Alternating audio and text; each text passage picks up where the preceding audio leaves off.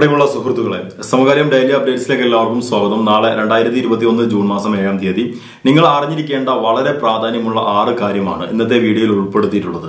നിങ്ങളുടെ നിത്യജീവിതത്തിൽ നേരിട്ട് ബാധിക്കുന്ന കാര്യങ്ങളാണ് സമകാലികം യൂട്യൂബ് ചാനലിലൂടെ ഞാൻ നിങ്ങളുമായി സംസാരിക്കുന്നത്.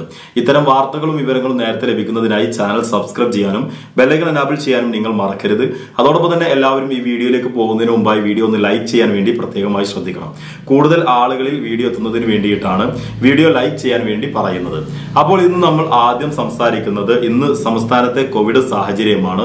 ഇന്ന് സംസ്ഥാനത്ത് പതിനാലായിരത്തി അറുന്നൂറ്റി എഴുപത്തിരണ്ട് പേർക്കാണ് രോഗം സ്ഥിരീകരിച്ചത്. പതിനാല് പോയിന്റ് രണ്ട് ശതമാനമാണ് ടെസ്റ്റ് പോസിറ്റിവിറ്റി നിരക്ക്. എന്നാൽ ടെസ്റ്റ് പോസിറ്റിവിറ്റി നിരക്കും അതോടൊപ്പം തന്നെ രോഗികളുടെ എണ്ണവും കുറയുന്നുണ്ട് എങ്കിൽ പോലും മരണനിരക്ക് കൂടുന്നു എന്നുള്ളതാണ് ഏറെ അത്ഭുതപ്പെടുത്തുന്ന കാര്യം.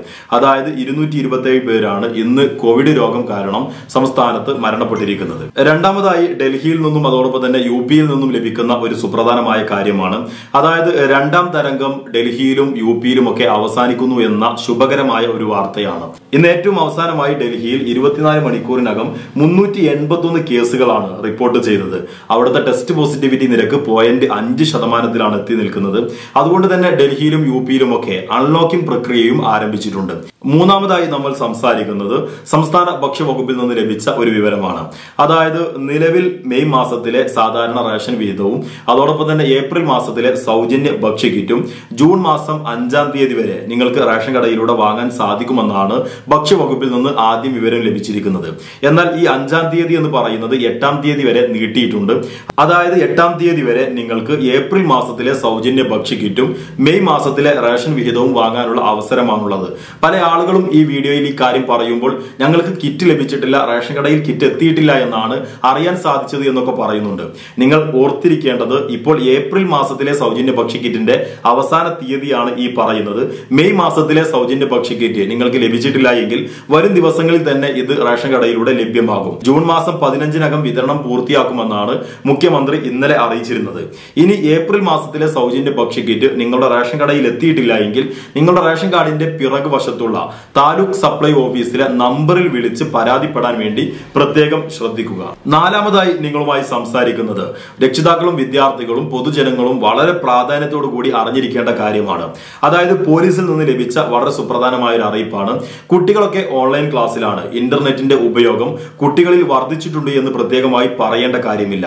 അതുകൊണ്ട് തന്നെ കുട്ടികളിൽ അനാവശ്യമായ വെബ്സൈറ്റുകൾ അതായത് അശ്ലീലമായ വെബ്സൈറ്റുകളിൽ സന്ദർശിക്കുന്ന കുട്ടികളുടെ എണ്ണവും വർദ്ധിച്ചു വരുന്നുണ്ട് എന്നുള്ളത് ഒരു യാഥാർത്ഥ്യമാണ്.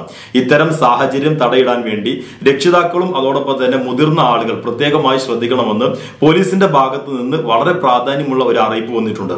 കുട്ടികളുടെ അശ്ലീല ചിത്രങ്ങളും അവരുടെ അശ്ലീല വീഡിയോയും പ്രചരിപ്പിക്കുന്ന വിഭാഗവും ഇപ്പോൾ വളരെ സജീവമായി പ്രവർത്തിക്കുന്നുണ്ട്.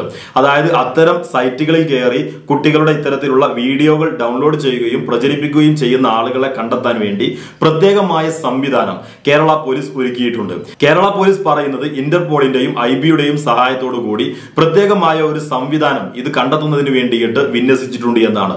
ദേശീയ തലത്തിൽ തന്നെ ഇത്തരത്തിലുള്ള ക്രൈമുകൾ കൂടി വരുന്നതിന്റെ പശ്ചാത്തലത്തിൽ കേന്ദ്ര സർക്കാരിന്റെ നേരിട്ടുള്ള നിർദ്ദേശത്തിന്റെ ഭാഗമായിട്ടാണ് പോലീസ് ഇത്തരത്തിൽ ഒരു സംഘത്തെ തന്നെ രൂപീകരിച്ചിരിക്കുന്നത്. നിങ്ങൾ ചൈൽഡ് പോണോഗ്രഫി വിഭാഗത്തിൽപ്പെട്ട ഈ തരത്തിലുള്ള വീഡിയോകൾ ഡൗൺലോഡ് ചെയ്യുകയോ അതല്ലെങ്കിൽ ഷെയർ ചെയ്യുകയോ കാണുകയോ ചെയ്യുകയാണ് എങ്കിൽ നിങ്ങളുടെ മൊബൈൽ ഫോണിൽ ഐ പി അഡ്രസ് വെച്ചുകൊണ്ട് ഇത് എവിടെ നിന്ന് ആരാണ് കാണുന്നത് എന്ന് പോലീസിന് കണ്ടെത്താൻ സാധിക്കും. നിങ്ങളുടെ വീട്ടിലെത്തി നിങ്ങളുടെ മൊബൈൽ ഫോൺ അതല്ലെങ്കിൽ ഏത് ഡിവൈസ് ആണോ നിങ്ങൾ ഇതിന് ഉപയോഗിച്ചത് അത് പിടിച്ചെടുക്കുകയും ജാമ്യമില്ല കേസ് പ്രകാരം നിങ്ങളെ അറസ്റ്റ് ചെയ്യുന്ന ഒരു സാഹചര്യം ഉണ്ടാകും. അതുകൊണ്ട് തന്നെ ഇതിന്റെ ഗൗരവം കൃത്യമായി മനസ്സിലാക്കുക ഇത്തരം കാര്യങ്ങളിൽ നിന്ന് പിന്മാറാൻ വേണ്ടി പ്രത്യേകമായി ശ്രദ്ധിക്കുക. ഒരു നാൾ നിങ്ങൾ പിടിക്കപ്പെടുമെന്ന കാര്യത്തിൽ യാതൊരു തർക്കവുമില്ല. അഞ്ചാമതായി നമ്മൾ സംസാരിക്കുന്നത് ഈയിടെ വാട്സപ്പിലൊക്കെ ഒരു മെസ്സേജ് വരുന്നുണ്ട്. അതായത് കോവിഡ് രോഗം ബാധിച്ച ആളുകൾക്ക് നാല് ലക്ഷം രൂപ സ്റ്റേറ്റ് ഡിസാസ്റ്റർ ഫണ്ടിൽ നിന്ന് ലഭിക്കുന്നു എന്ന രീതിയിലുള്ള വാട്സപ്പ് സന്ദേശമാണ്. ഇതിനൊരു അപേക്ഷാ ഫോമും പ്രചരിക്കുന്നുണ്ട്. നിങ്ങൾ മനസ്സിലാക്കേണ്ടത് ഇത്തരത്തിൽ സംസ്ഥാന സർക്കാരോ കേന്ദ്ര സർക്കാരോ കോവിഡ് പോസിറ്റീവായി എന്നതുകൊണ്ട് സ്റ്റേറ്റ് ഡിസാസ്റ്റർ റെസ്പോണ്ട് ഫണ്ടിൽ നിന്ന് ഇങ്ങനെ ഒരു നാല് ലക്ഷം ആർക്കും തന്നെ നൽകുന്നില്ല എന്നും ഇതിനുവേണ്ടി പ്രത്യേകമായ അപേക്ഷ വിളിക്കുന്ന ഒരു സാഹചര്യം ഉണ്ടായിട്ടില്ല എന്നും സർക്കാരിന് ഈ ഒരു സംവിധാനവുമായി ഈ മെസ്സേജുമായി യാതൊരു ബന്ധവുമില്ല എന്നാണ് സർക്കാർ അറിയിച്ചിരിക്കുന്നത്.